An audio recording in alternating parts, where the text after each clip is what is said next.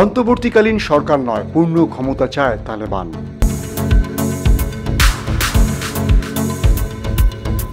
তালেবান কাবুল দখলের পর দেশ ছেড়ে কেন পালালেন আশরাফ ঘানি?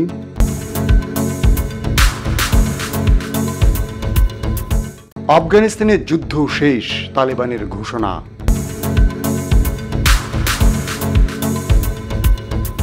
প্রেসিডেন্টের পর এবার দেশ ছাড়লেন আফগান ভাইস প্রেসিডেন্ট।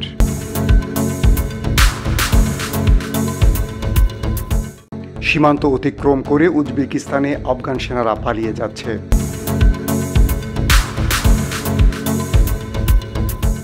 আফগান ইস্যুতে কি বলছেন বিশ্ব নেতারা?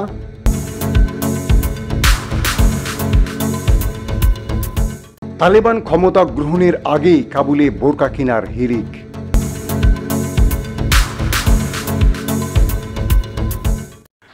আসসালামু আলাইকুম। প্রিয় দর্শক, সবাইকে স্বাগত জানাচ্ছি মাসুম মাহবুব। প্রিয় দর্শক, আজকেও থাকছে আন্তর্জাতিক বিশ্বের বেশ কিছু গুরুত্বপূর্ণ তথ্য। আশা করি পুরো ভিডিওতে আমাদের সঙ্গেই থাকবেন।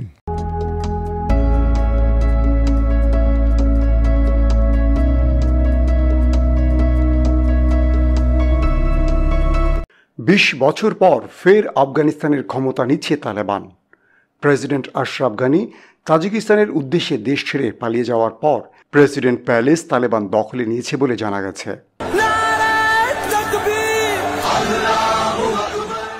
দেশের জনগণকে এমন হুমকির মধ্যে ফেলে দেশ ত্যাগের কারণ জানিয়েছেন আফগান প্রেসিডেন্ট আশরাফ ঘানি। ঘানি বলেছেন, রক্তপাত এড়াতে তার হাতে আর কোনো বিকল্প ছিল না। রাতে এক ফেসবুক পোস্টে তিনি বলেন, লাখো মানুষ ঝুঁকির মধ্যে রয়েছে। সংঘাত এড়ানোর জন্যই আমি কাবুল ছেড়েছি।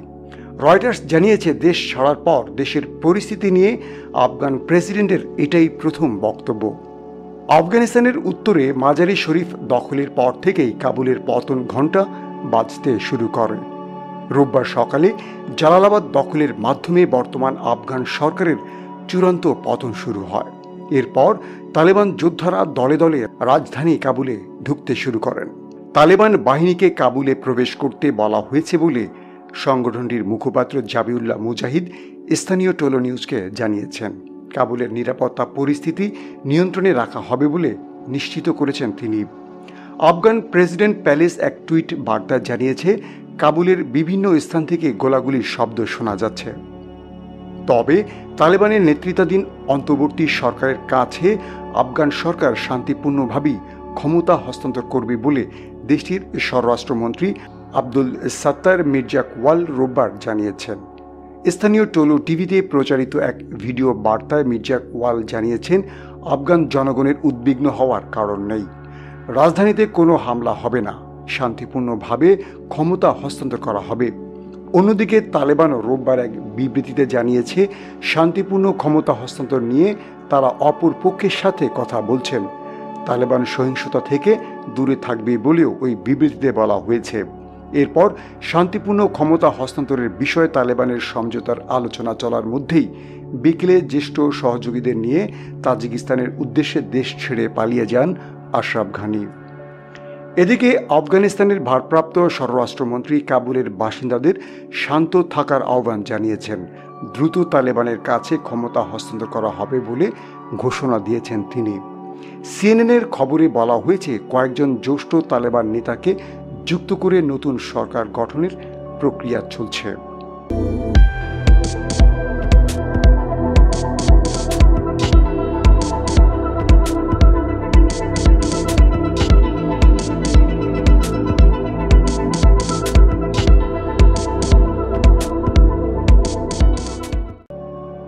আফগান প্রেসিডেন্টের পর দেশ ছাড়লেন ভাইস প্রেসিডেন্ট আমরুল্লাহ সালে।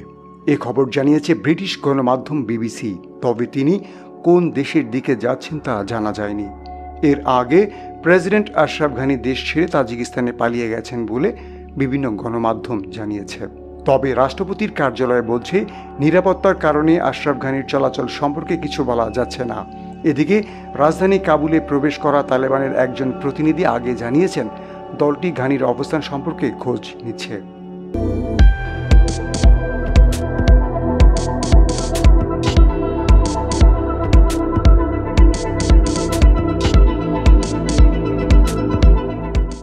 আফগানিস্তানে যুদ্ধ শেষ বলে ঘোষণা দিয়েছে তালেবান। দেশটির রাজধানী কাবুলে প্রেসিডেন্সিয়াল প্যালেস দখল এবং প্রেসিডেন্ট আশরাফ ঘানির দেশত্যাগের মধ্য দিয়ে যুদ্ধের সমাপ্তি হয়েছে। সোমবার বার্তা সংস্থা রয়টার্স ও কাতার ভিত্তিক গণমাধ্যম আল জাজিরা এ তথ্য জানিয়েছে।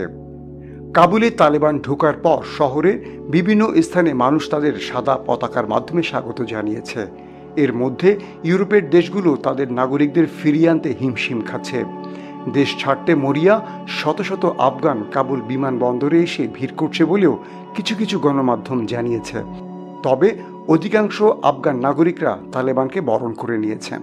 এমন পরিস্থিতিতে তালেবানের রাজনৈতিক শাখার মুখপাত্র মোহাম্মদ নাইম আল জাজিরাকে বলেন, তালেবান বিচ্ছিন্ন হয়ে থাকতে চায় না।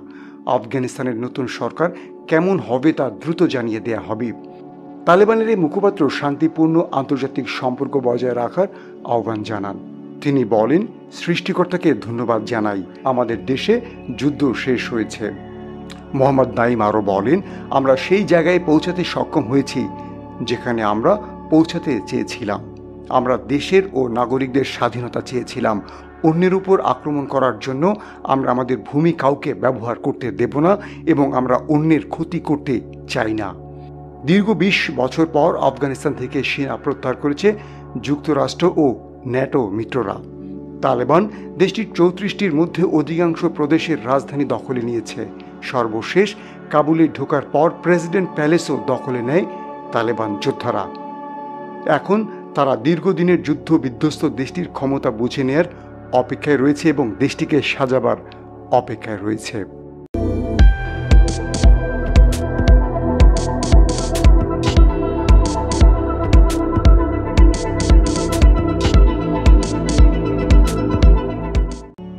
ঘন্টায় ঘন্টায় নাটকীয় পরিবর্তন ঘটছে আফগানিস্তানে। তালেবানরা কাবুল ঘিরে ফেলার পর প্রথমে অন্তর্বর্তীকালীন সরকার গঠিত হবে এমনটা শোনা যাচ্ছিল। তবে এখন তালেবানের দাবি, তারা পূর্ণ ক্ষমতা চায়। এরই মধ্যে দেশটির প্রেসিডেন্সিয়াল প্যালেস দখলে নিয়েছে তালেবান। এদিকে আফগানিস্তানের পরিস্থিতি আলোচনার জন্য রাশিয়া জাতিসংঘ নিরাপত্তা পরিষদের একটি জরুরি বৈঠক ডাকার পরিকল্পনা করছে। ইউরোপীয় ইউনিয়নের একজন মুখপাত্র বিবিসিকে বলেছেন, আফগানিস্তানে মানবাধিকার লঙ্ঘন হচ্ছে কিনা এবং নারীর অধিকার মেনে চলা হচ্ছে কিনা, তার উপর নির্ভর করবে মানবিক সহায়তা অব্যাহত রাখা হবে কিনা।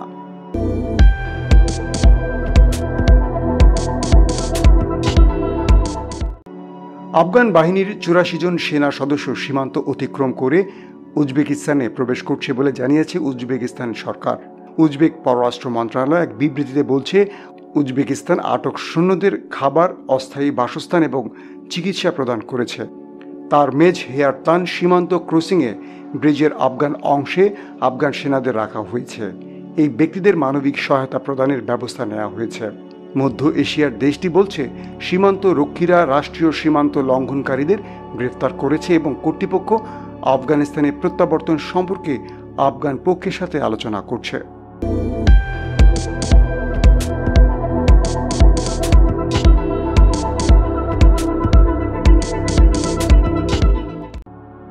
মার্কিন প্রেসিডেন্ট জো বাইডেন বলেছেন, আফগানিস্তানের সামরিক বাহিনী যদি দেশটির নিরাপত্তা নিয়ন্ত্রণ না রাখতে পারে, তাহলে আমেরিকান সৈন্যরা এক বছর কিংবা পাঁচ বছর থাকলে তাতে কোনো যায় আসবে না।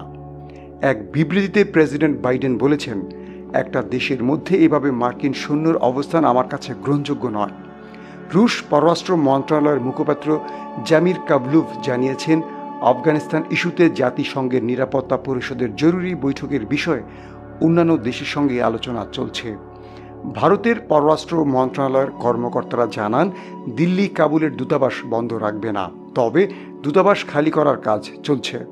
ব্রিটেনের প্রধানমন্ত্রী বরিস জনসন আফগানিস্তান নিয়ে আলোচনার জন্য পার্লামেন্টের অধিবেশন ডাকার পরিকল্পনা করছেন। ক্যাথলিক ধর্মগুরু পোপ ফ্রান্সিস আফগানিস্তানের শান্তিপূর্ণ সমঝোতার জন্য আহ্বান জানিয়েছেন। পাকিস্তানের পররাষ্ট্র মন্ত্রণালয় বলছে, আফগানিস্তানে পরিস্থিতির অবনতিতে উদ্বিগ্ন তারা। তবে তারা কাবুলে দূতাবাস বন্ধ করার পরিকল্পনা করছে না। এছাড়া ইউরোপীয় ইউনিয়ন অস্ট্রিয়া এবং সুইডেনও প্রতিক্রিয়া জানিয়েছে। ব্রিটিশ প্রধানমন্ত্রী বরিস জনসন বললেন, পরিস্থিতি ক্রমশ খারাপের দিকে যাচ্ছে। বিশ্বের শক্তিশালী দেশগুলোকে এখনই একতাবদ্ধ হয়ে কাজ করতে হবে এবং কোনো চুক্তি ছাড়া আফগানিস্তানে গঠিত কোনো সরকারকে স্বীকৃতি দেয়া যাবে না।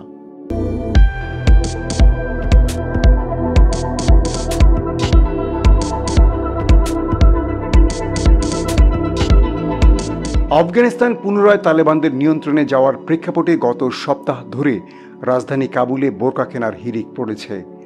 দেশটির বর্তমান পরিস্থিতিতে হঠাৎ বিক্রি বেড়েছে আরএফের দোকানে। দূর থেকে আরএফের দোকান দেখলে মনে হয় সেখানে নীল রঙের পর্দা টানানো আছে। কিন্তু কাছে গেলে বোঝা যায় দোকানের হুঁকে ঝোলানো আছে অসংখ্য নীল বোরকা। তালেবান কাবুলের চারদিক ঘিরে ফেলার পর থেকে সেখানকার নারীরাও তৈরি হন পরিস্থিতি মোকাবেলার জন্য। দোকানদার আরএফ জানান, আগে বিভিন্ন প্রদেশে নারীরাই তাদের প্রধান ক্রেতা ছিলেন। এখন শহরাঞ্চলের নারীরাও তাদের কাছ থেকে বোরকা কিনছেন। আয়ালিয়া নামে এক আফগান নারী বলেন, আগে বোরকার দাম ছিল দুশো আফগানি মুদ্রা, বর্তমানে তা বেড়ে দাঁড়িয়েছে দু হাজার থেকে তিন হাজার আফগানি মুদ্রা কাবুলে দেশের বিভিন্ন প্রান্ত থেকে আসা নারীদের সংখ্যা বেড়ে যাওয়ায় বোরকার দাম বেড়ে গেছে বলেও ধারণা করা হচ্ছে। অনেক দশক ধরে ঐতিহ্যবাহী আফগানি বোরকা বিশ্বে আফগান নারীদের পরিচয় বহন করে আসছে। ঐতিহ্যবাহী এই বোরকা অধিকাংশ সময় নীল রঙের হয়ে থাকে। ভারী কাপড়ে বানানো এই বোরকা এমনভাবে নকশা করা হয় যেন পরিধানকারী পা থেকে মাথা পর্যন্ত ঢাকা থাকে। বোরকার চোখের কাছে থাকে পাতলা জলের মতো কাপড়। দু হাজার এক সালে তালেবানের পতনের পর কেউ কেউ এই বোরকা ত্যাগ করলেও অধিকাংশ নারীরা বোরকা ত্যাগ করেনি। তবে চলতি বছরে আফগানিস্তান থেকে বিদেশি সেনা প্রত্যাহারের পর দেশটির একের পর এক গুরুত্বপূর্ণ শহর তালেবান দখলে নেয়ার পর আফগান নারীরা আবারও বোরকায় ঝুঁকছেন।